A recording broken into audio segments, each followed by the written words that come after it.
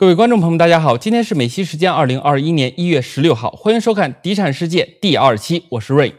各个国家由于房产环境、法律制度不同，买房时面临的各项问题也不尽相同。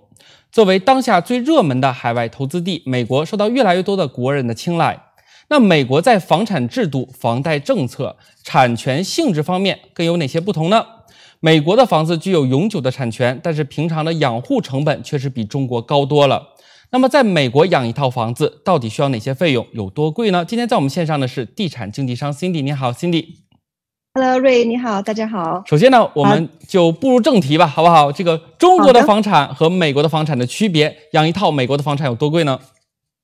没问题啊，这个首先我们讲它那个美国房产和中国房产区别，主要在于它的什么？它的产权，在中国是没有这个产权这一说，它只有使用权和居住权。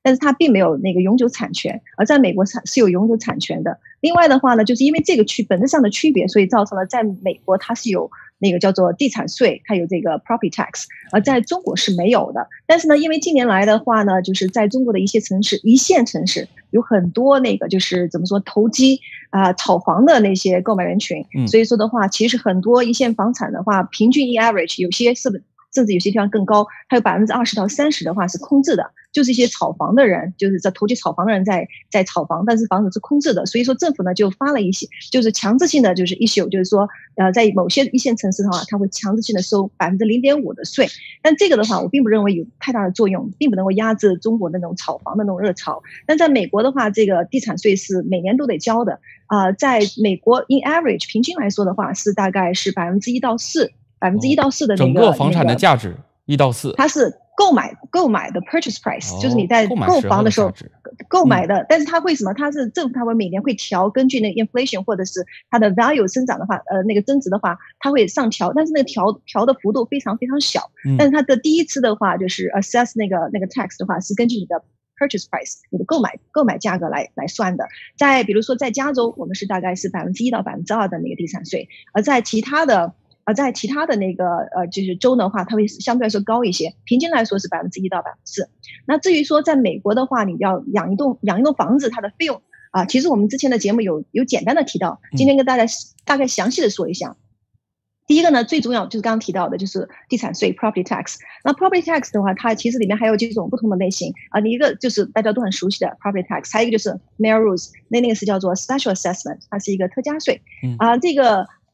刚才我也提到，property tax 根据它的 purchase price，就它的购买价格来算的。但是那个特加税呢，special assessment，它不是根据你的房子大小，或者是你购房的那个价格的高低来定的，它是每个政府它的每个 accounting，它会有它自己不同的那个什么那个那个收费标准嘛，可以这么说。OK，啊，它的这个 mayor rules 呢，它的作用呢，其实就是为了公共建设、公共设施吧。就是比如说呃高呃高架桥啊，或者是说啊，比如说那个消防站呀，或者是学校。其实像学校的那个学校的资金的话，很多运用资金的百分之八十都是来自于地产税，所以你可想而知，很多地产税的话，其实是去呃，就是说投入到一些公共设施，包括埋电缆线啊，或者是开发税啊，所以七七八八的话呢，就全加在一起。那政府呢，就像相当于是 issue，刚才也跟你聊了这件事儿，相当于是 issue 一个什么叫做 municipality 那种债券一样，叫 mini mini bond，那就有点像是这种债券，它是三十年为债期的，三十年债期。所以说你看那个什么。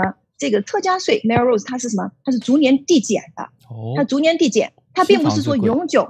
对，因为什么？因为你新房新区的话，新建的房，它很多开发税、很多公共设施都要建立起来，所以那个的那个时候它就才会 issue 这个 bond 这个债券。然后的话，三十年债期的话，慢慢慢慢，you know，就大家一起付一起付，到最后的话就会怎么递减，就越来越少，到三十年基本上就没有了。哦。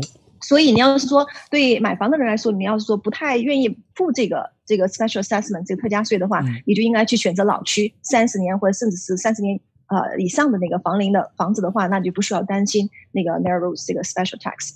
然后第二对第二点呢，就是它的房屋保险。我之前也提到，房屋保险是非常重要的一个环节，但是特别是在一些啊有些 natural hazard，就是有些自然的灾害的地方，比如说火灾、地震。啊，龙卷风啊，或者是这些地区，你肯定是要 make sure 你有这个保险，房屋保险。但是很多时候，因为国人来这边买房的话呢，他们没有这个习惯，特别是很多像呃，二零一三年到二零一一七年吧，大概就是中国人来美国买房的百分之七十的成交的百分之七十都是现金，所以说。这样的话呢，就造成什么？买现金买房你是不需要一定要买房屋保险的，所以很多人的话就忽略了房屋保险这个环节。但如果你要是贷款买房的话，房屋保险是必须要买的，要不然的话，银行它不会让你有过户，不会不会让你买，因为什么？你不买保险的话，银行它这个抵押品，也就是这个房子，它没有保护的话，它承担风险太高了。对风。对于银行来说，它是要起到一个风控的作用，所以它一定要强制性的，你一定要去买保险。但是因为很多中国大陆来买的客人的话呢，他们没有这个习惯，或者是现金的话就忽略了这一点，或者有些 agent 也没有提醒他们，就常常没有买保险。呃，举个例子，就是有一个啊，有一个客户啊，他呢就是买了房子以后呢，他没有去上保险，然后的话不知道是家里的清洁工还是谁不小心把楼下地下室的一个水龙头忘记忘记关了关了。然后就流了大概啊，应该有一个多月吧。哇塞！这个水慢慢细细的流，没人发现，因为那房子空的嘛，基本那个房子没基本没人住。嗯。然后的话呢，就一个月之后，正好碰巧就给人发现了，就发现地下室已经基本上是进到，基本上快进到屋顶那么高了。嗯。就是一个多月的话，你像每天流。白天晚上流的话，就这个水水位很高了，等于地下室整个都给淹了。嗯，所以说的话，这个就强调的话，就是有保险的好处。当然，这个是意外的事故，我不是说自然灾害了。呃，但是也就是说，你有这保险的话，你这些方面可以就是说屏蔽一些风险。而保险的话呢，它不是说根据你的房子的价格，就是购买价格，或者是说啊，或者是房子大小来定那个就是那个保险价位、保险费。保险费呢，它其实是根据就是你的房子所在的位置。哦，比如说你是靠近那个火灾区，对，是位置。比如靠近火灾区，或者是靠近呃那个水灾呀或者地震区的话，它会根据这些情况来来来标注你的那个就是你的保险的高那个价位的高低。嗯啊，而且还有一点呢，就是另外一点就是大家比较容易忽略的，就是有些人说啊，我买了房，比如说我上了保险，哎，他很自觉，我上了保险，或者 agent 提醒他了，买了保险，那回国了啊，一年半载以后，来想想起来我不回来了。呃，特别是现在疫情，我不打算回来，你帮我出租吧。那出租的话呢，他就要什么？要把这个 home insurance 的什么自住的保险改成什么 rental insurance？哦，出租保险。但很多时候，很多时候的话，这个房业主本人也忽略了，或者是呢，他的 agent 也没有太在自太在意，因为很多 agent 的话，他们其实是做呃 brokerage，他们是做买卖，并不是做什么托管，物业托管，所以他并不是专业的物业托管人员，所以他。很多时候，他其实没有这个潜在意识下面没有这个习惯去帮你换，从那个自住的保险换成 rental 出租保险。那你不换的话，如果万一你出租给别人，别人在你家里种大麻，那你就更倒霉了。嗯，那那你这个房子就跟被摧残掉了啊，是吧？那这个还有一个那个责任险的话，其实也很也需要注意，就出租给租客的时候，你需要 make sure 你的租客呢会去呃买一个叫做责任风险 liability insurance，什么意思呢？就是说。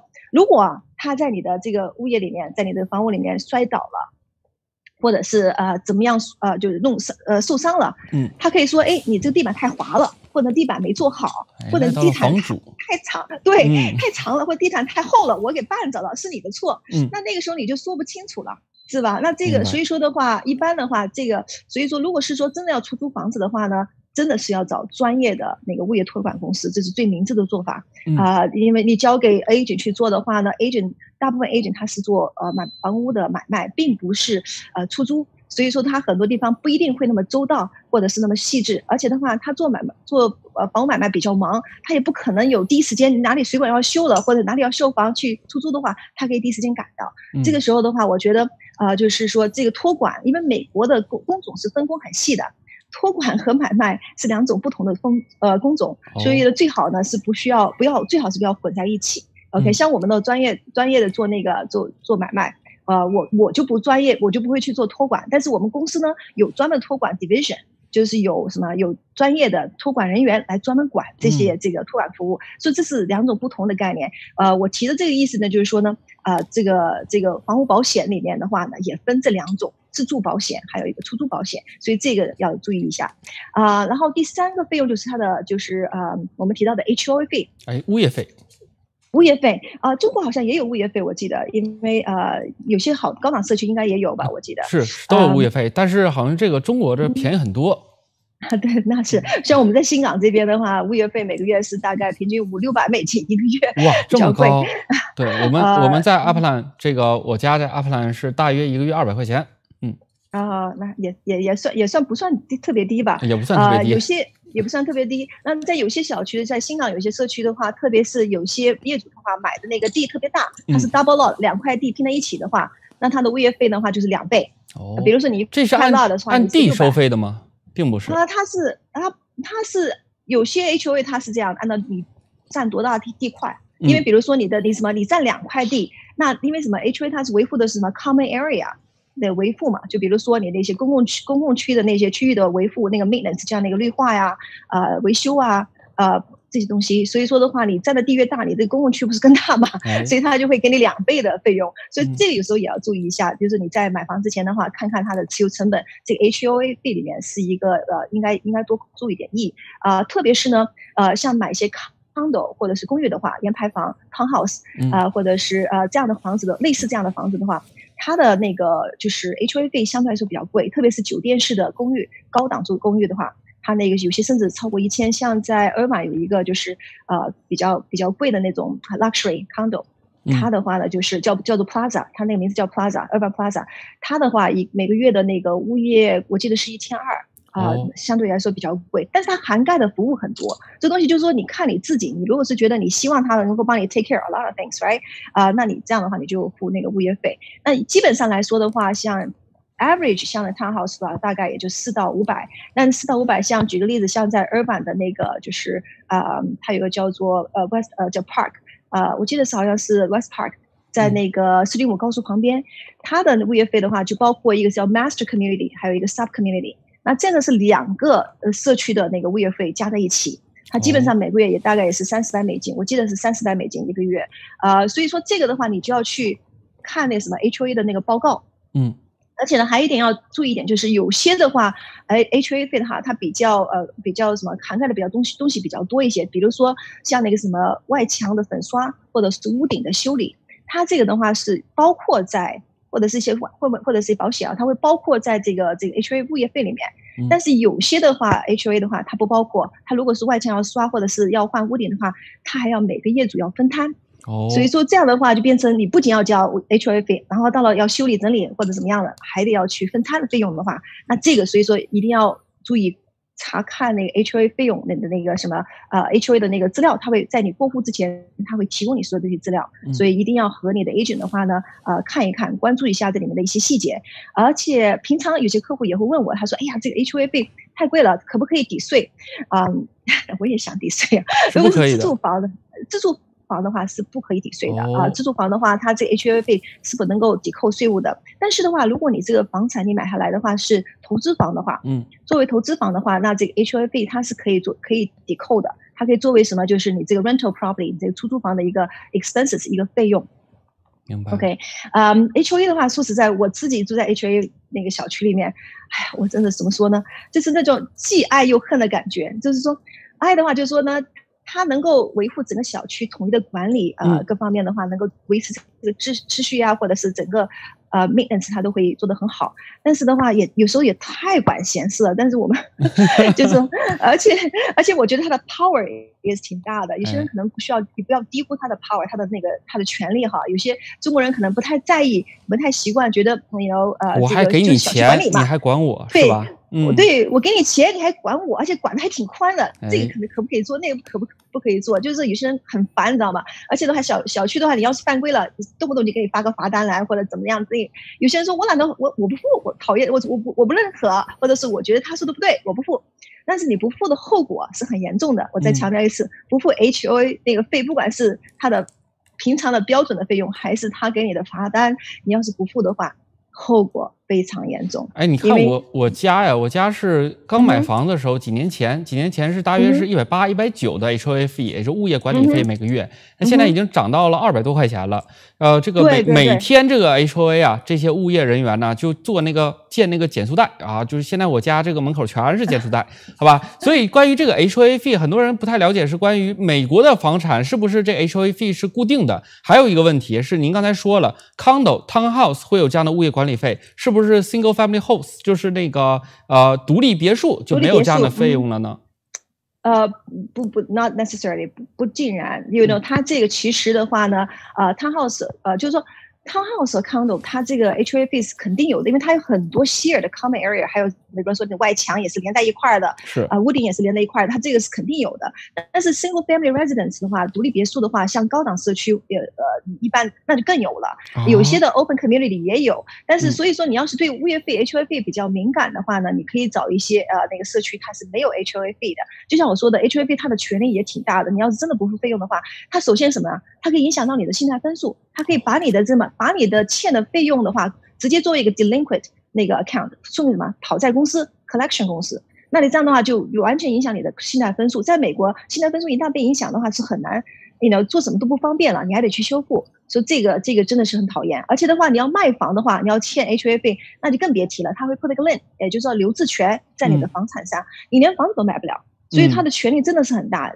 你说我付你钱，你还管我那么多，还还还呼风唤雨的这种，你知道这种感觉真的也不太好。但是，you know it is what it is, right？哎，Cindy，您刚才说了这么多费用吧，就可以看到这些费用其实都比中国的房子要高很多。那如果从这个投资角度来看的话，是不是美国房子更适合投资呢？那投资回报率有多高呢？相比中国房子来看？哦，嗯，那我再补充一条。刚才的话讲美国的持有，呃，在美国房产的持有费用的话，呃，还有一条我差点忘了，呃，跟你说，就是它的那个什么，就是平常的要求，就是说跟生活类有关的那费用，比如说垃圾处理费，哦，对，垃圾处理、污水排放处理费，嗯，对，还有一些那个什么，比如说 cable 啊，啊，电缆啊，或者电视啊，还有网络呀这些费用，七七八八的费用，啊，这些的话，就是如果你在这边生活，这个是肯定要的。如果你这房子空置，啊，那一般的情况下，基本上你的费用也是 minimum 最少了。但是这个也不能忽略，特别是你要有泳池。我现在发现我的客户有些很多不太想要泳池了，都跟我说泳池看是好看，看得很舒服，但是的话呢，真用不上，因为咱们中国人不太喜欢，对，使用率太低了，只是看一看、欣赏一下。但是真正要用起来的话，很少中国人会经常用，但是他们小孩也许会用。但是的话，你这个每个月都要去做处理啊，所以说，比如说 swimming pool 这个泳池啊、维护啊、啊清洁呀。你然后包括园园艺啊，就是你的这个花园，呃，像我们家的话是定期有园艺工来做。哎，你不做的话，如果是家里的这个园艺太杂乱的话，邻居就要把你告了 HOA 的。我的邻居很管闲事的，真的。哎呦，您这个不除草，然后之后 HOA 是会管您的。真管我，给了我一个那个，因为我前呃是前年还是去年我忘了，一段时间实在太忙了，我忘了这件事儿。那那个时候正好换了一个 gardener，我就忘记跟他跟那新的 gardener，就是新的那个园艺工打电话，忘记跟他约了。忘了约了后的话，就大概一两个几个月，好像就忘记维护了我这个前院或后院啊。但是前院别人看得到，后院他也看不到。嗯，然后我邻居真的就就告了 HOA 说，哎，这个 Cindy 他们家这个前院有点乱。太太没有没有好好的维护，弄得我收一张罚单，很冤枉。但是这个东西也不是说我有意，但是这就说他们这个邻居，特别是美国人，非常非常在意他整个社区的，就是那个就是 maintenance。嗯，是明白。所以回到我们刚才我问您的问题，就关于这么多费用比中国都高，那从投资角度来讲，是不是美国房子那适不适合投资啊？呃，我觉得美国，呃不不是，我觉得，我觉得大部分人的话，主要是靠有 common sense 啊，都会认为美国的话，其实还是一个非常好的投资，特别是房地产啊，房地，啊，因为这个的话呢，你也可以看到，就是从它的 historic performance，它以往的那个 performance，当然它有有上有下，有周期啊，房地产的周期基本上是八到十年，但总体说来，美国的房地产还是往上走的趋势，啊，也就是说它是在增值的，呃，在增值的话，而且它呢，虽然说它的持有费用高，但是它的呃，回报率相对于中国来说的话也要高。哦，回报率有什么呢？回报率的话，那当然就是说，你主要是做出租的话，你你租金那个它有现金流，有现金流，但是它分两部分，一部分呢是它的 cash flow 是从那个什么 rental rental property，那是 passive income。OK，啊，passive income 怎么解释比较好呢？就是说你不需要通过劳动。不需要通过劳动而获取的那个回报啊，那个就是让钱生钱，或者就自动的，就是就是比较消极的产生的那个那个收入，就叫 passive income。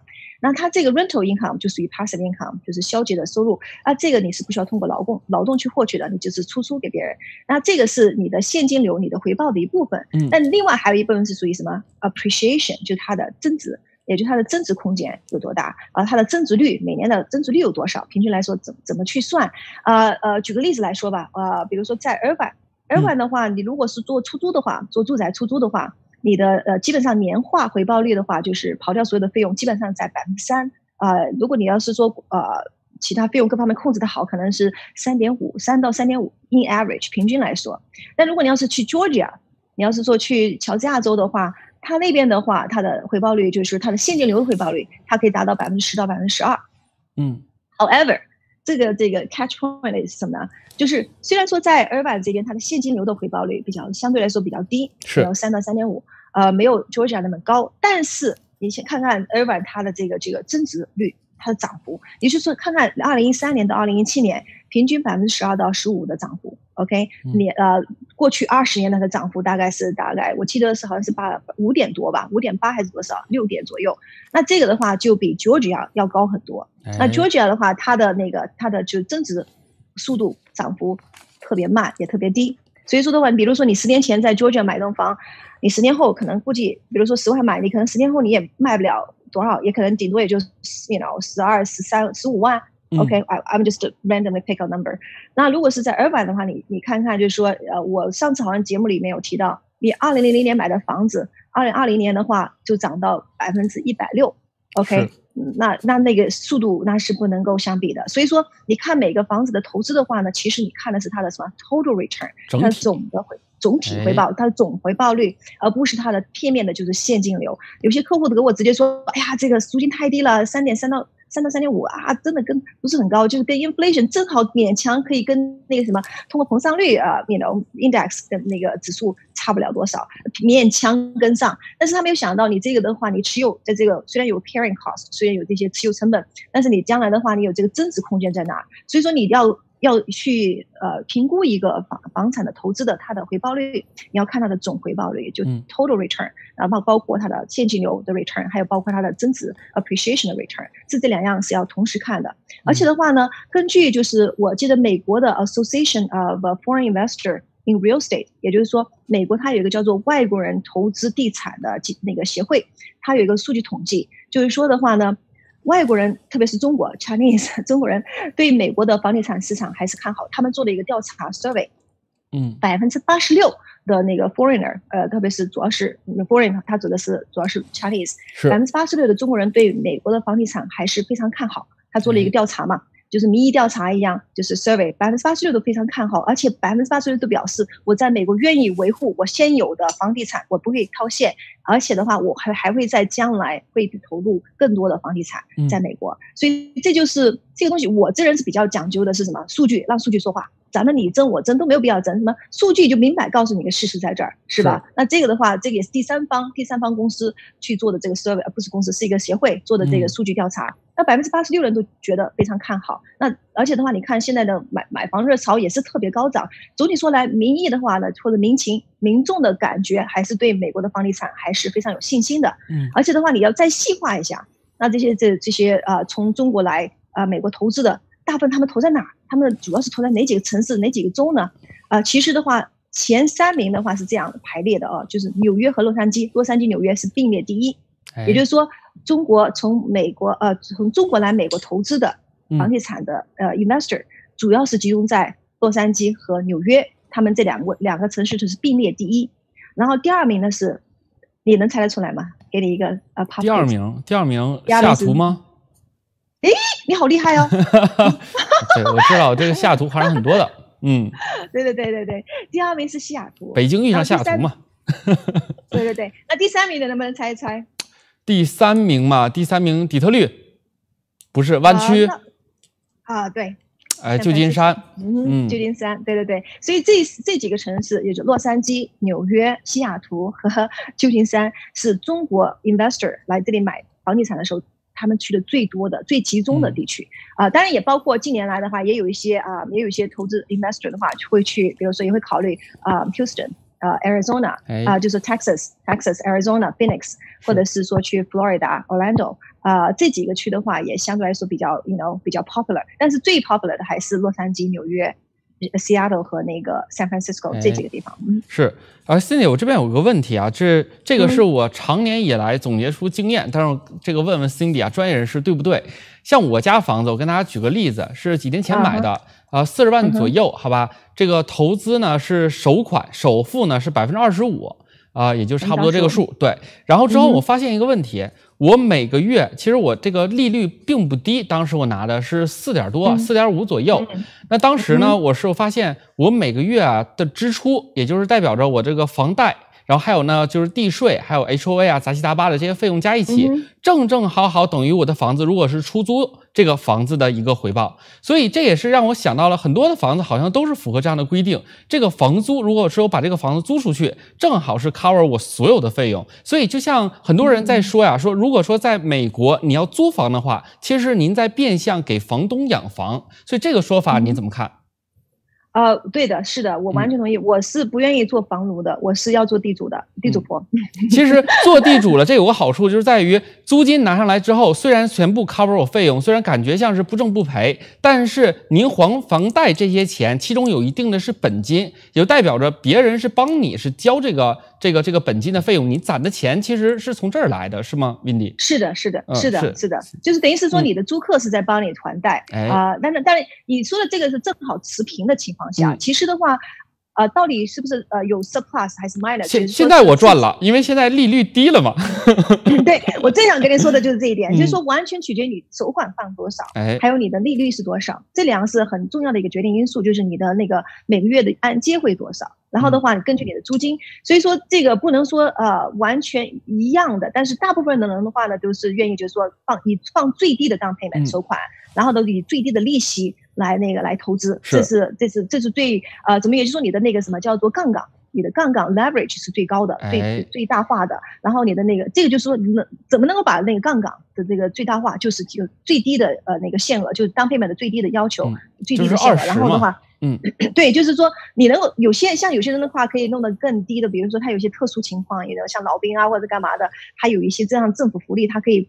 放很低的 down payment，或者甚至不要放 down payment，有这样的福利的话，哎呦，by all means，you know go for it。然后的话，当然一般正常来说的话是百分之二十到百分之二十五。然后的话，利率的话，所以说我之前在节目里，之前的节目也说到，一定要是货比三家，那个 shopping mortgage 一定要是找不同的贷款 贷款公司多比较，不要就是说你要在意呃，不要在一棵树上吊死。是的，因为我会都比较，而且的话，我因为常年。做这个的话，我已经知道大概是哪些贷款专员专员的话，他的呃，you know 强项是哪些？比如说有些是比较业务能量更更强一些，嗯，那哪些的话呢？他可以就是说啊，就可以做到很好的利率啊，或者哪些是做 jump loan 啊？所以说你大概就比较了解那些贷款专员他们的那个特长了，或者是他们的强项，这样比较方便。你就给客户也好，给自己，包括我自己也是 investor，我就知道去找谁做什么样的贷款。所以这个是个优势吧？就是说你你必须。你必须得在这一行里的做这一行的优势，那所以说的话，所以说总结来说的话，其实其实的话，你这种就是说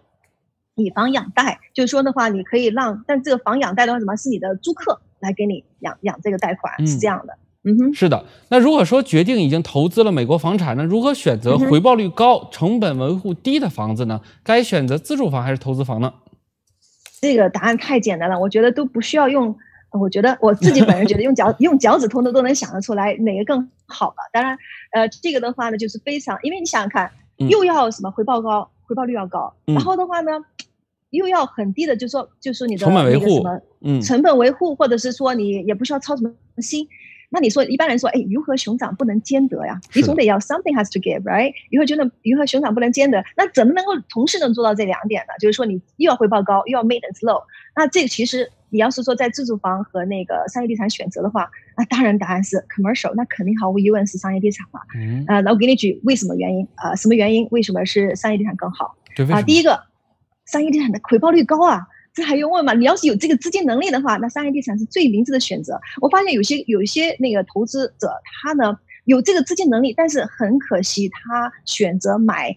比如说他选择买十套，嗯，二十套自住房，然后那个投资房去做，当然也可以了。但是我觉得不是他的，就是说啊，我待会也讲到为什么。但是呃，但是我觉得不是最呃最好的 strategy，不是最好的策略。呃，他当然做商业地产，它的那个它的回报率高，这个毫无疑问。用数据来说话，你看过去十五年，过去十五年的话。那个商业地产，它平均的呃那回报率大概是在百分之十二点七。那你看看那个 S P five hundred index，就是它的那个呃 S P five hundred 那个叫做呃指数基金吧，嗯，啊就是股票指数基金的话，它是百分之八点八，也就是说十五年里它的平均收益是百分之八点八，而商业地产可以达到百分之十二点七。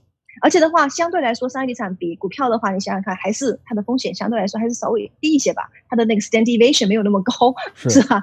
没有那么那上上下下跳动那么多。所以说，总体来说的话，商业地产它的回报率是比较高的。所以说这一点呃是一个对我来说，我觉得是一个非常非常大的优势。然后第二点的话呢，商业地产它什么？它的租客质量高，因为什么？商业地产它的租客很多时间是很多 case 的话，是什么？corporate corporate tenant，就是说公司。啊，它大部分情况不会是个人，个人的话呢，这个就比较头痛，因为什么出租房吧，个人又是家庭，它这个里面就是比较啊，怎么说呢，就比较 emotional，而且那个什么 relationship 就是关系也好，人际关系也好，或者包括这个租客的呃家庭情况啊，不太好，对，问还有收入啊，这些东西都是很大一个风险。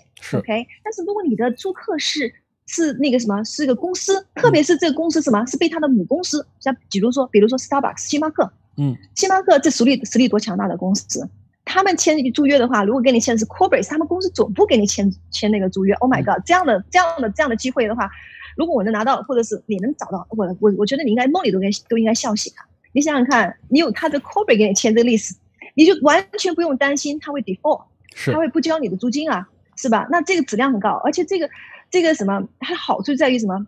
你不用担心受怕。呃，就是说他不会什么时候哪，指不定哪天他不给你交房租了，你还得去去发驱逐令，特别是现在 COVID 驱逐令还还不是那么容易去弄。你说这个不是自找自寻烦恼吗？是吧？那你有 Corporate 的话，Corporate 它不会一般情况下它很少会有这种情况，它的概率比较低，风险概率，因为它的话，它除非它是去 file bankruptcy，you know 宣布破产，那这种情况有，但是很少。特别是你在筛选那个租客的时候，你可以好好把关，这个你完全可以选择。然后还有一点呢，就是呃，那个商业地产它的什么，它的嗯，它的租约很长。你说你租出租房子，它的那个什么租约一般都是呃一年十二个月，那算是长租了。短租的话甚至还更短，三月三个月六个月。啊，这个坏处在哪里呢？这么短的租约的话，就是你的 turnover cost，就每换一个租客，你要去做做维修吧，是要粉粉墙吧，要去，而且还有控制期吧。你想想看，你中间前一个租客和后一个租客，你有你有什么 vacancy rate？就高吧，你的那控制期就就概率就大嘛，或者是有一段控制期，那这都是对你作为投资者来说的话，都是损失，都是损失，都是 loss。呃而且的话，你这个呃怎么说呢？你这个 turnover 又那么频繁的话，你这个说实在，我就总体来说的话，对于投资者不是很好的事情。你要的什么是 turnover，它的什么置换率，租客的置换率。越低越好，哎，而且时间，也就是说租约越长越好，是啊，然后的话你没有控制期，那是最好的，或者甚至最 minimal 的控制期，那最好。那怎么能够达到这一点？那就是好的商业地产就能达到这做到这一点，你就不需要担子担心。一般他们的租约基本上，至少我平常做的 case 的话，我做的很多 transaction 啊都是十年是十五年以上，而且它还有什么 option to renew，它还有那个租客还有权可以什么可以再续约。你比如说，他二十年的租约，他还说我还有什么三年、三个五年的续约，也就是他可以再续约三次，每一次的话是五年，是等于是二十年再加十五年，那三十五年。特别是银行就特别啊，面到他的租约，像我记得有一个银行，我忘了在哪儿，我记得是在帕萨迪纳，他在那个 location 大概待了，我忘了是五十年还是快六十年了。哎呦，那个那个 bank。你说你要是这个房东呢，你你你你 你根本就根本不用担心嘛，因为因为因为这种这种租客的话，他又不会说明天打了包，呃，就走人，或者是说不交你房租，是，就这个是那个商业地产的优势。这我突然想到这个一个案例。说是像是我们知道很多华人超市，其实他怎么挣钱呢？他这个做超市不挣钱，他主要是把这个地买下来了，他弄个超市旁边的这个 plaza 里面的内容啊，里面的什么其他的房间呢？他是租给这个商家了，他主要是其他的地方这个地产挣钱是吧，Cindy？就这个道理，所以说每嗯做那个 retail 是这个道理，所以说有些开发商的话，他在开发那个 retail center，就是说那个像购物中心一样发展。他在没有没有开发，甚至没有做之前，他他的 number one job 你知道是什么吗？什么？哎，你刚才都看都说中了呀！刚才 什么？他 number one 是什么？做超市。number one 的 job 就是他就找一个 anchor，那个 anchor tenant，anchor tenant 就是说你的 anchor 知道吗？就是船上那个铁锚。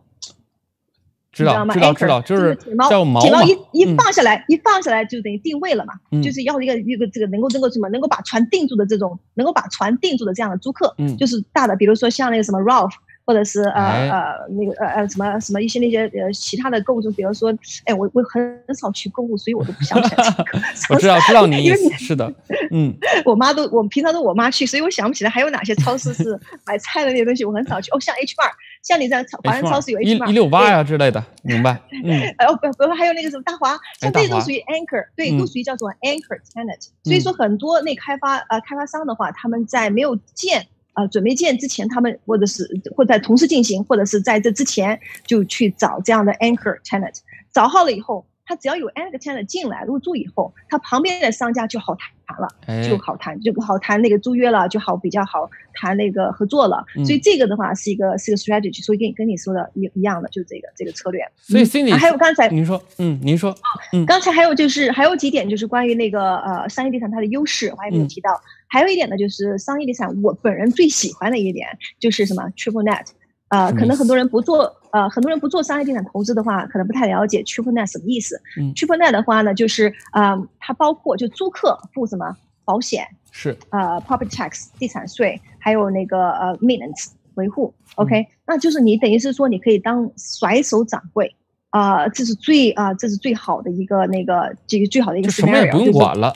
你什么都不用管，唯一你要管的话，如果是你买这商业地产，你有贷款，你要还一个按揭。嗯，如果你是现金买的话，你都不用。但是一般情况下，我建议客户，特别是在利率低的时候，不要用现金去买这种投资物业，最好是 you know 有。利用它的 leverage，它的杠杆来买，这样的话呢，你就可以起到更多的杠杆作用，你可以买更多的、更大的，这个的话，你的投资回报率就更更好了。所以这个是一个 long long story 很大的一个话题了。但是总体总的说来的话呢，triple net 是非常非常好的一个呃一个这个就是商业特产的一个特商业特产呃地产里面一个特别好的一个特质，就是有这种 triple net 的可能性。呃，然后有些人问为什么这个租客？因为我有客户问我啊，这 triple net 是不是每个租客都会有这要这个提供这个 triple net？也不一定。不是每个租客的话都会说商业地产租客说，哎，我愿意你要签 triple net，也不是每个商业地产租客会这样愿意做的，OK？所以就看你的话怎么去跟他谈这个这个 lease agreement，因为有些什么 growth，你知道，或者是 modified growth，它有各种不同的那个就是那个租约。那 triple net 当然是对那个房东来说是他最喜欢的啊。但是这个这个具体的话，你需要去跟那个租客去谈啊。那这样的好处呢，就是呃，对租客来说，他要去 r 呢，一般是好的 corporate 公司，比如我刚刚提到星巴克、呃 Starbucks，还比如说 Walmart 啊，那你就可能也会问，然后说，哎，为什么他们喜欢去 r 呢？为什么他们愿意去承担这么多麻烦事儿呀？又要付这个，又要付那个，呃，都把这些责任都或者是呃要做的事儿都揽在自己身上，呃，肯定有某种原因吧，是吧？那这个原因是什么呢？因为星巴克的话，你想他们。包括呃像 Starbucks 或者 Target 这样的公司，他们要维护他们整个什么，它这个整体店铺的整体的什么整体的那个一致性 consistency。所以他比如说我这个建筑我要什么砌成像那个 Target，我要是弄成那个什么红啊那个红白色。然后那个是像 target，我要需要是绿色或者是这种风格，我可以 control。如果我做 maintenance，我包括所有的东西，所有的责任的话，那我比较方便去做 maintenance。我要怎么修改或干嘛，怎么换，怎么去维修，我可以按照我自己意愿来。这样的话就比较灵活。如果是说房东要去弄的话，那房东不一定说你你想怎么样他就怎么样了，是吧？房东说，哎，我要可能要节省成本。我可能不会给你弄的你想那么 fancy，我可能随便给你弄弄，right？那这样就比较麻烦。所以省得很多 corporate 公司的话呢，大的公司它是比较自己愿意做 triple net，就是因为这个原因，它可以比较 have more control。嗯，啊，还有一点的话呢就是商业地产，它一个另外一个更大的优势呢，就是我个人认为就是比那个住宅房就是高于住宅房的优势。啊，这个呢是跟它的那个呃它的什么增值。或者是它的那个叫做什么呃，它的价值的提升有关。嗯，呃，如果你是做住宅房的话，你想想看。你那个瑞，你在你你现在的房子是四十万，right？比如说你将来要想，你是想，哎呦，你上次来找我，你说要卖房，然后我我随便，我忘了我当时我们做了一个分析报告，具体是多少？假设说，哎，现在可以卖五十万，但是，我我不管我不管多少吧，反正我就是假设说，就是为了方便算数的话，你说买了四十万，那假设说现在你你心里的期望值是说你想卖五十万，right？那好家伙，正好期望是一百万，当然了，我也 我也明白明白，咱们比喻嘛，就是五十万，假设，嗯，假设说，对对对，啊，假如说五十万的话，你心里的期望是五十万，我假设说啊，五十万，但你有几个邻居的话呢？有几个邻居他呢，啊，他想贱卖，他好家伙，他说或者他们某种原因，或者是个人原因，或家里原因，或者经济原因，could be any reason，right？啊，有有有几个邻居他们卖的是，比如说一个卖三十五万，一个卖三十八万，那你想，你这个时候你会不会着急？那肯定着急啊！那肯定着急啊！你想想看，你肯定跑人家就敲你们，半夜都敲门，哎，你干嘛卖那么低啊？不行啊，不行啊！你这样把这个我们这市场全都扰乱了。是，你这样卖低的话，那我们旁边要卖，我们不好卖了，是吧？这就是住宅房的最大的曲折，那个最大的什么缺点？呃，缺点就是什么？你缺点就是你的房子的价值有很大程度上是受到什么？你周边房子的价值，嗯，的那个那个叫做成交价或者售价的影响。OK，那这样的话，对你来说，你可能觉得，哎呀，那别人卖那么低，我可不心安全想卖那么低。但是人家卖那么低，你也你也控制不了啊，你也管管不了啊。那这样的话，多少如果他卖低的话，对你影响，也就是说，你的那个住宅房的价值，它是很大很大的程度上，或者是百分之 almost 百分之百 程度上是什么？取决于那个，当然也有。其他因素、经济因素或者是其他的因素，但是我说很大程度上是取决于你周边的房子或同一社区的房子，他们的那个成交价而影响你的房子的价值。所以你看 Zillow 上的估值，Zillow 估值的话其实很不准确的，其实是很不准确的。我不知道大部分人还会用 Zillow，但是因为大家习惯嘛，没有其他的那些。如果你不是有执照的 agent 的话，你没有那个 access，你没有那个进官方网站去查那个房屋的。价值的那个那个那个平台，那你只能依靠仰仗，比如说呃仰仗那个 Zillow 或者去呃 r e f e n 或者 Trulia 去查的那个房屋的价值，但其实很大的情况下的话，那个那个它的评估是不精准的。但是它的但它的理念是按照什么来的呢？它就是按照你周边的房子的最近的成交的价值来推算你房子的价值。但是你要是注意看的话，在那个 Zillow 的网站上，它有一个很小的 disclaimer，有一个那个什么声明，官方声明，就是他们的那个估值的话，其实。啊，他们的估值的话，其实是有误差的。它的误差，我记得上次我我忘了具体多少，我记得好像是百分之十到百分之十五的误差。哇，所以说的话，高啊，这误差。对对对，所以但为什么他要这样定那么高的误差呢？其实他们是为了保护自己，保护这个公司是为了保护他自己。你想想看，如果是说。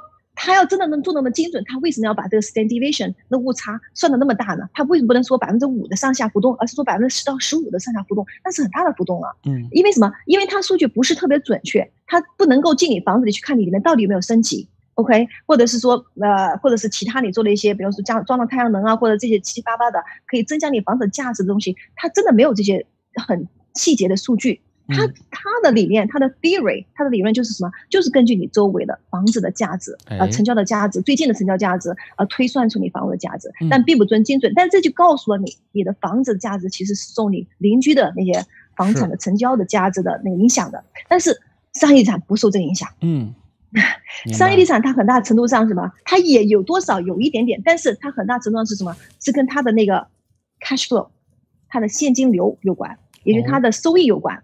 所以说，像我们很多时候，我们都是用 cap rate 来说，cap rate 呃来算那个商业商业价值，其实就是什么？你用你的那个 net operating income，就是你的每年的，就就是那个就是纯的纯收入啊净值吧，可以净收入除以你的买价或者卖价，它可以算出 cap rate 来。嗯，那这个的话，这就可以告诉，就凭这个公式，这个这个算法，这个公式就可以告诉你。它不是按照 comp 来算的，它是按照你的租金的收入来算的，租金的收入来算。那这个好处在于什么？这是可控制因素啊。是，你说你的邻居要卖房要贱卖，那是不可是控不可控制因素啊，是吧？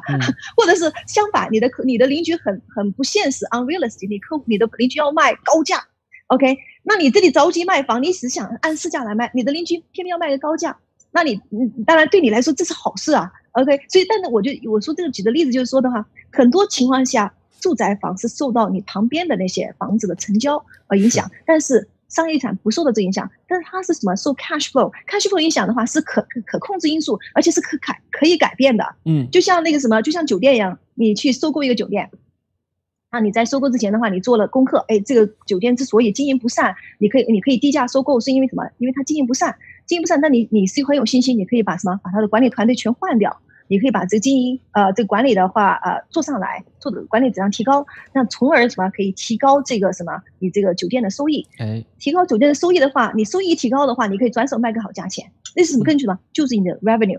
同样道理，跟商业地产一样的，就是你呢可以把你租客换掉，你只要找到一个好的租客，你的收益上来，租金上来的话，你这个房产的价值就上来了。也就是说的话，这个商业地产的价值它是可以控制的，从某种程度上来说可以。可以可可去改变的，对对对，可调控的是吧？哎，我这边有一个问题啊，就有人说美国的房子是消费品而不是投资品，您如何看待这句话呢？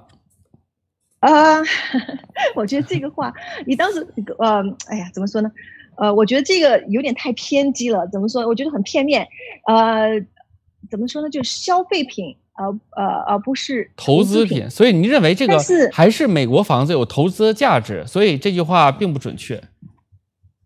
不准确，因为什么呢？因为它这个就像你说，有点断章取义吧？可以这么说吗？可以这样理解？就是因为就是因为美国房价可能很多人认为它的这个这个成本比较高，但是他也没有看到它收益的一一边儿，对不对？收益的这这一方面，嗯，那就那个 statement 有点笼统啊。为什么说笼统呢？其实不能够呃这样这样盖棺定论的，因为因为我觉得的话呢，就是啊，你这个到底是不是消费品还是说投资品的话，取决于你买房的目的。OK，如果你买房，当时你买房的话，你是作为什么享受？呃，这个是我自我享受的自住房。那你如果是既然把它当做自我享受的自住房的话，你就不要把它当认认为是说，哎，你要有什么回报。那像有有客有有客人的话，或者是 client 的话，他想，哎，我就是想买在海边，我就是要花高高价钱买在海边，我即便一个月啊不一年回来几个月。我就喜欢，呃，又不想别人打扰我，这就是我的什么呃 escape，right？这是我的那个我休养生息的地方，哦不，我休息的地方。那这样的话，他把这个就完全当做是自己的那个一个一个 enjoyment，他自己的一个 luxury enjoyment。如果是他的享受品的话，那当然那就是消费品了，因为他没有抱着什么，没有抱着去赚钱的目的去去购买这个物业。但是相反，有些人的话就说，哎，我就是来做投资的。那我就是要赚钱，那什么我就看什么，我要赚钱的话，我看哪里收益高。那投去学区房不错啊，我就买学区房。这样的话呢，我那个什么我好出手，而且的话那个增值又快，然后的话我租金也可以收得很高。但是抱冒着这种这种目的呃这种心态去投资的话，它那个就可以定义为那个什么投资房。但是的话，其实很多情况下这两者是可以合二为一的。啊，怎么说呢？就说你可以把消费品和什么和那个投资品。把这两个合成合在一起啊，有一个 scenario，呃，其中一个 scenario 是什么叫做啊，叫做以房养学。以房养学。我有很多客户，我有很多客户呢就是这样来做，就是说从二零一三年他他呢买了房，买了房那个时候正好你说这个那段时间的房产的话涨得非常好，涨势涨幅也很大。嗯。然后他呢就带孩子在这里读书，带孩子在这里读书的话呢，那肯定你呢你就住在这里面，那就算是自住房是吧？是。那自住房，那住完了读完了。比如说高中读完了三年，那他就哎呀，孩子考到波士顿去了，那就准备把房子给卖了，又又赚了一大笔。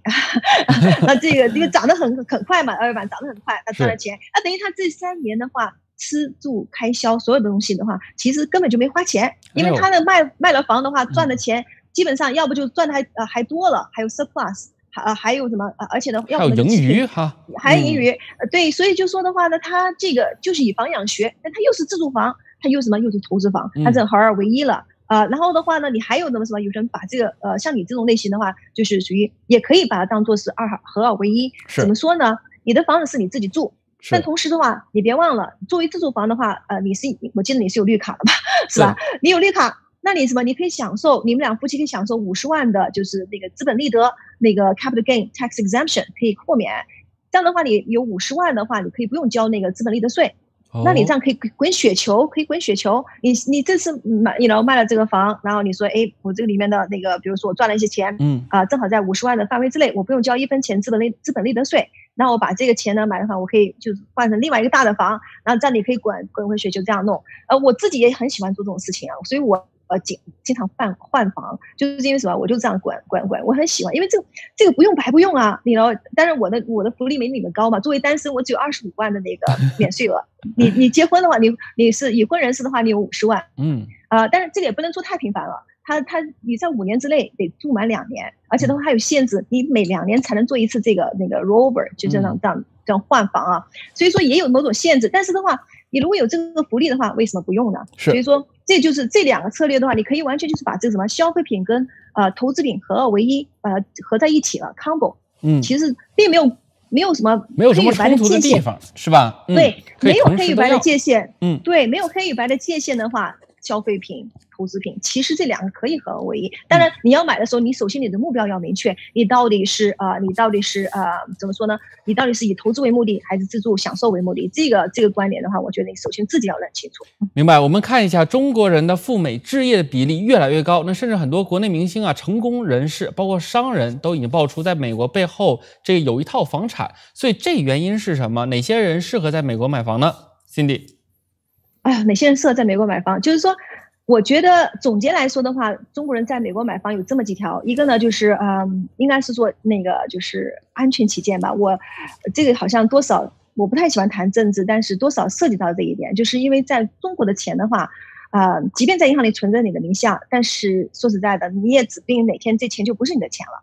可以资产冻结。我是昨天还是前天有一个有一个也是 agent 朋友跟我们聊，我跟我聊天就说的这件事儿了，就说呢他有一个客户也是亿万资产的客户啊，因为我我正好跟他在聊我那两千三百万的房子嘛，那个房产跟他聊他那客户可能有兴趣，然后就聊聊聊聊到就说哎呀他有兴趣买，可是现在那个钱啊就不翼而飞了。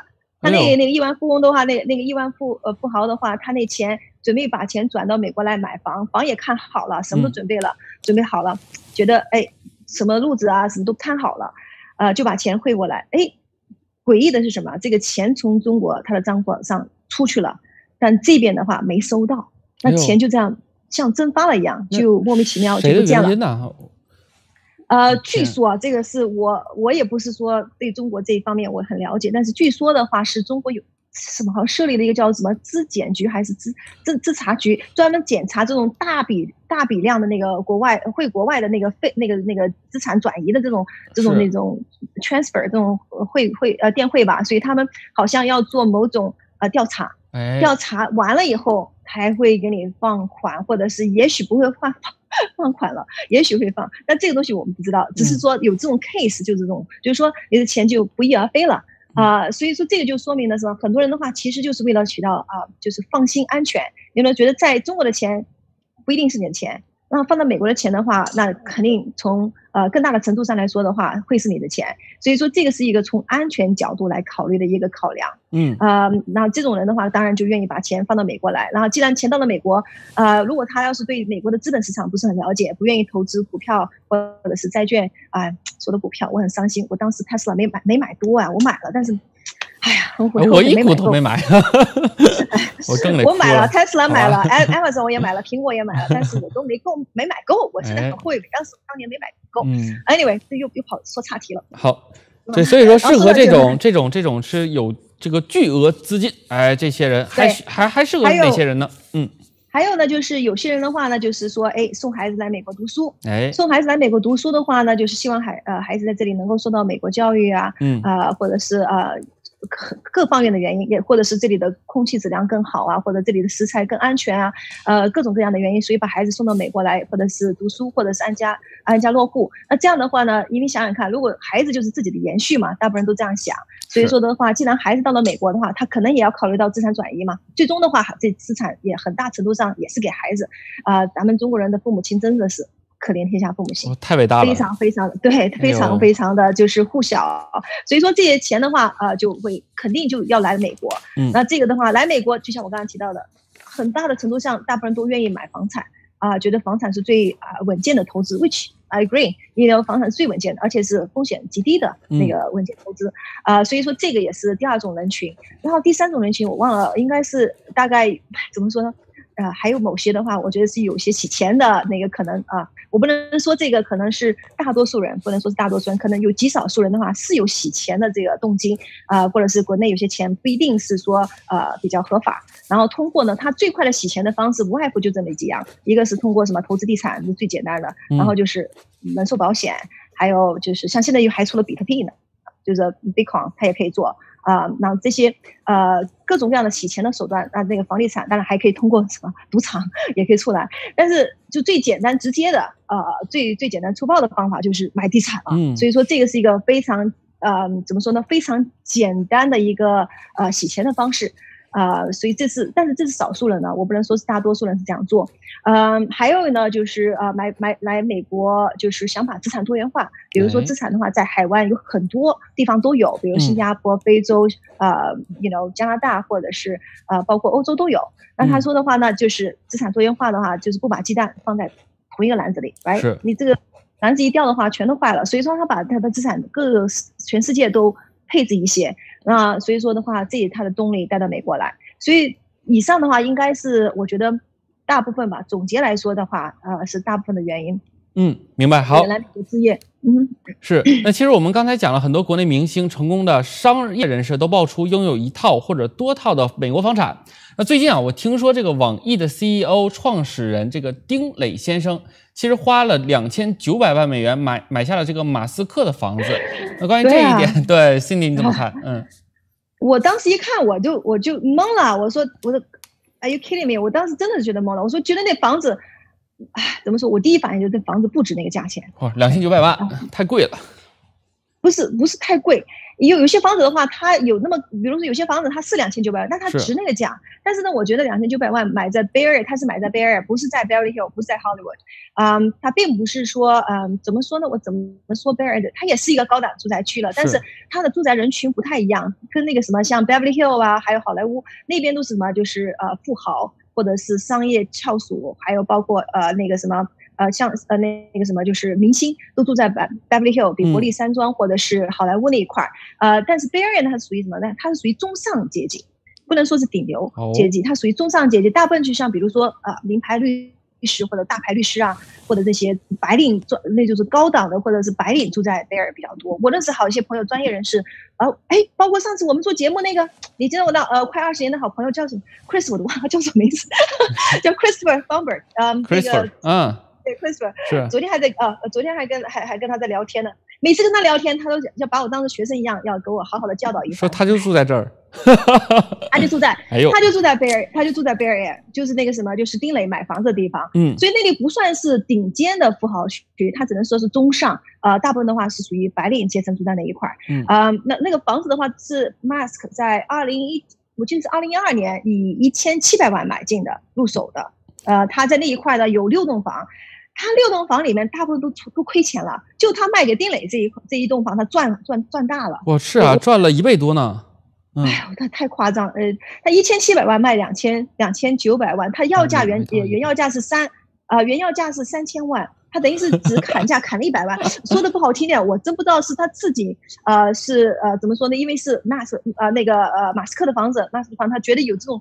怎么说呢？一种偶像或者是英雄情节啊，想买或者是出高价钱去买，也不是不是这个原因，就或者是他的 agent，嗯，忽悠他的。我都不知道应该怎么说？我说，如果你作为他的 agent，你这个这么明显，这个价钱价值不不值，你都看不出来嘛？嗯，因为我觉得这个完全，我觉得 Max 标说多了，至少。呃，你聊七八百万到一千万，他是赚足了，在这这栋上面，至少。哇塞！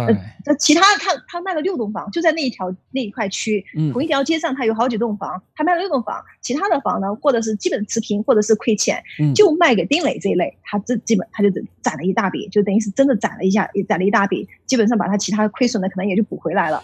哎呀，我真的觉得这个，所以这个故事告诉我们，还是找一个靠谱的 agent 比较靠谱啊，这个比较好啊，是不是？啊，对呀，对，这个真的是这样说的。我我跟你说，找的 agent 的话有几个要素。第一个是，呃，我我就是总总的来说，总结来说，找 agent 啊，你一定要有经验的，一定要要有知识储备量要高的，是，还有什么就是要可信赖的，这三点缺一不可。你别说有经验就有知识量，这不一定。我跟你说，我团队上之前有一个 agent，哎呦，他那在这行做了很多年，嗯，哎呀，也怎么说也有差不多小十年吧，那经验丰富啊。嗯，经验应该说是丰富的，OK，但是呢，特别懒。我经常督促他好好充电，定期学习，从来不不不上我，因为我定期啊会给团队上那个 coaching，会给他那个呃就是说培训啊，或者是呃上去做一些 training，他从来不参加，从来不参加。我跟他说多少次，他也不会参加。呃，所以说经验是有，但是知识储备量太低。每次要或者是有一些大的 case，或者有些比较复杂的 case。深更半夜，深更半夜给我打电话，我说：“哎呦天哪！我说这个时间段你给我打电话。”他说：“我着急啊。”他说：“我这个房产我得 有几个问题我搞不明白，怎么做啊？怎么做啊？”我说：“你他又不来上课，你你那个这个临时临阵又又也也也也不来抱抱佛脚来找我来找我咨询。”哎呀，弄得整的有好几次，把我是呃，我都忘了，有一次好像是快快午夜了，把我给提拉起来，从床上，哎呦，给他接电话，哎呦，我真的我说，所以说有经验的人做了十几，他做也差不多那个时候，他应该是大概三四年前吧，嗯也做了差不多快十年了，有经验，但是知识储备量很多很多知识点他自己弄不清楚，嗯，自自己都弄不清楚，所以 experience 和 knowledge 是没有等号的。但是有智有 knowledge 的人的话呢，他也不一定有经验，为什么？有些人的话。他特别喜欢钻研，哎呦，我天天就是钻研拿那本书，哎呀，很很能够纸上谈谈兵。你就说你那个什么，就是说知识量有，但是他真的是就是说比较呃热衷于去学习，而没有真的是发挥到实战上去。所以他有 knowledge，但是没有 experience。所以说为什么我强调有 experience 还要有 knowledge？其实这两个其实是不是等同的？你不要以为别人有经验就一定有 knowledge，有 knowledge 就一定有经验。No，他们中间没有等号。所以说这两个是两个不同的那个 category。然后另外一点的话，就是要找到能够可信任的人，这是最关键，比刚才我说的那两还要重要。因为你没有 knowledge 或没有 experience，可以问别人要，或者是让别人帮忙。但是这个人不可信任的话，啊，如果是说真的要给你呃，或者是呃，怎么说呢？要呃要要整理的话，或者不是说整理，或者是说呃出于某种私利要怎么样去弄的话，那真的你就给开惨了。我之前好像跟你谈过这聊过这件事儿，那个瑞，你记得我跟你说过一个 agent，呃，瞒着那个那个 owner 在国内的那个卖方卖家的话，把这房子给卖了，你记得吗？嗯。然后卖完了的话，那个 owner 还不知道呢。呃，还有，哎，这个很夸张。所以说，这个真的要小心。这个这个这个 agent 能不能值得信赖或者是可靠，这个是 number one。嗯。然后 experience 和 knowledge 的话是可以说是 number two。嗯，总的来说的话，我觉得你要你要是不太了解房地产的话，最好啊就找专业人士去做，让专业的人做专业的事儿。那有些人的话，像我呃，忘了是哪是上个星期有人来跟我说，他说，哎呀。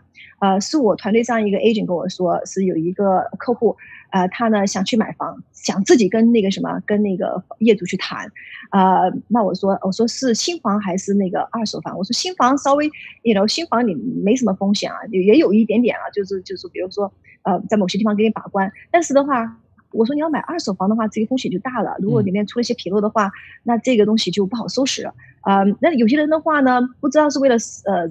某种原因或者是某种目的的话，那往往就是愿意去担这个风险，啊，我觉得这个风险其实会很多时候是因小失大，嗯，就是捡芝麻丢了西瓜。明白，好，今天感谢啊，Cindy 给我们做这样的一个介绍。当然，这个我还是要说，如果说是您关注房产市场的话，一定要扫一下右下角的 Cindy 团队的二维码，您可以获取最新的房产资讯。当然，也可以是同样有需求的话，也可以联系一下 Cindy 团队，好不好？那同时呢，我要您说，嗯，哎，瑞，我我想我差点给你忘记跟你说了，我刚才说到那个就是那个丁磊买的那个房子，他是两千九百万买的，是啊，我我还想插播一下，就是。我真觉得不值的话，主要原因是什么呢？是因为我自己手上有两千三百万的房子 在好莱坞在卖。哎，我跟你说，比那个要强是吗？嗯，我手上卖的这两千三百万的房子，原价是三千万，降到两千三百万，但是房子全新的，还没住过，全新的，而且是无敌三无敌的三百度的海景山顶山景和城市风景。那个什么，他买那个马斯克的那个房子还没有景色。这个呢是什么？坐落在山头上，有三亿亩的地。你等于是买了这个的话，你旁边还可以再花一千一百万买买三两亿亩的地，加上这个房子本身有的一亿亩地，整个山头你可以就当那个当那个什么呃，这个整个山头就是你的，就是你自己的帝国了。一条那个什么私家车道上去，我不知道那个呃 T 亚能不能切几张图过来给大家看一下？好，做个比较。哎，刚才那个顶地垒的房子放了没有？可以比较一下那个。大家都可以比较一下，你看丁磊的丁磊买那个房子没有风景，而且地区地段也不是最。这个是我们的房子，好吧，有风景。对呀，我就想不明白呀。我说两千九百万，他还不如花个两千三百万买这个。那这个的话，你像在好莱坞找一个三亿亩地大的那个那个什么这个这个，或者是说一亿亩地的那个房子，有这么好的风景，你真的是打个灯笼都找不着了。是，这 location 都不一样。嗯，location 完全不一样。你这个你知道地段的话，真的是。差之毫厘，失之千里啊！你这个东西，这不是说差一点点，是差很多。所以说买房子的话，地段地段，location，location，location 最重要。但是我觉得丁磊这个的话，是一个很大的一个失误，这是我我个人认为啊。啊，其实我我好些朋友都这么认为。好，这个如果说是您对这个房子感兴趣的话，也可以联系一下 Cindy，好吧？扫一扫右下角的二维码。呃，同时我要跟大家说，我们地产世界会在每周六的下午六点为大家播出，所以我们下周六再见了，拜拜。嗯，Thank you，Thank you，谢谢，拜拜。Música